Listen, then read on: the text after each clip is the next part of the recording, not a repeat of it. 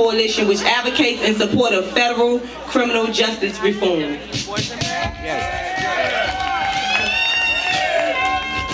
All right. How many of you out there want to end mass incarceration for people in general and women in particular? If that's you, say I do. I do. How many of you want to end mass incarceration sooner rather than later? If that's you, say I do. I do. Well, you are in the right place at the right time with the right organization, Families Justice as Healing, and the right leader, Sister Andrea James. Let's give it up for the Free Her Rally. Well, the United States has moved beyond overt racist lynching and explicitly blatant discrimination as the order of the day to mass incarceration as its punishment of choice. What makes it particularly frightening is that the system of mass incarceration decimates not only individuals and families, but generations of people as well, disproportionately black. Dorothy Gaines know about that. Now, Yango, I know my time ain't up yet.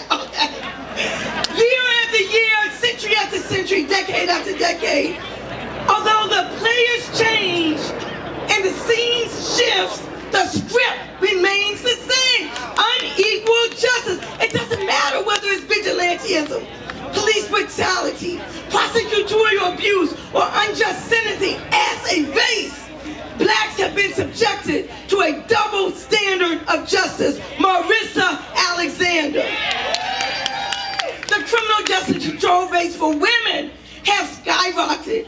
This girlfriend problem, as Senator Sessions has called it, refers to the propensity for arrest, prosecution, and sentencing of low-level, minimally involved or unknowingly involved people for crimes associated with large-scale drug trafficking operations. And this represents just the tip of the iceberg as the military industrial complex has morphed into the lucrative and disturbingly profitable prison industrial complex today the deprivation of liberty is powered in large part by the profit motive. You see, the private prison industry has economic interest in keeping sentences long and may seek to maintain high occupancy rates even in the absence of need. There's even speculative prison building based on the test scores, the test scores of black boys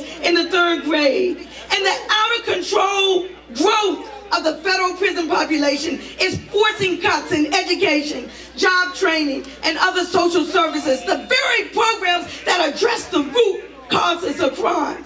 It is past time that we confront the disastrous policies of the past half century.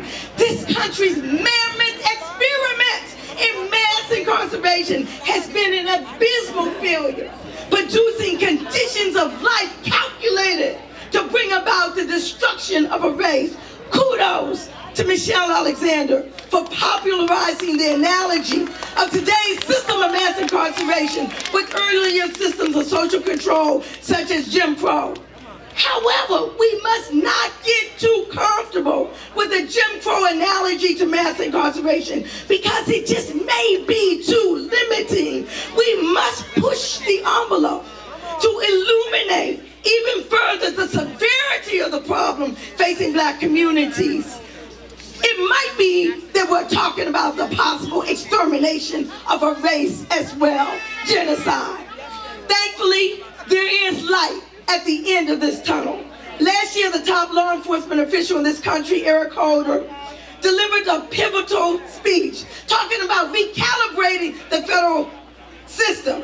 This year, the Deputy Attorney General announced a plan wherein potentially thousands of unfair cases will be reviewed for commutation of sentence. It is incumbent, as I'm coming to a close, for all of us to build a focused justice movement, women who never give up, mothers in charge, Ava Carruthers, Karen Garrison, mommy, activists, the list goes on, Laura Whitehorn, Mary Daniels, Ross Food Home, Pauline Sullivan, Linda Leaks, Andrea James.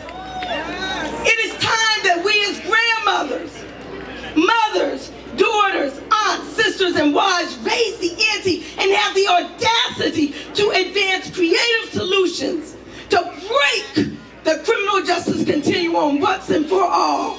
The mass incarceration, the genocide of black people, Miss Ann, repeat after me, free the grandma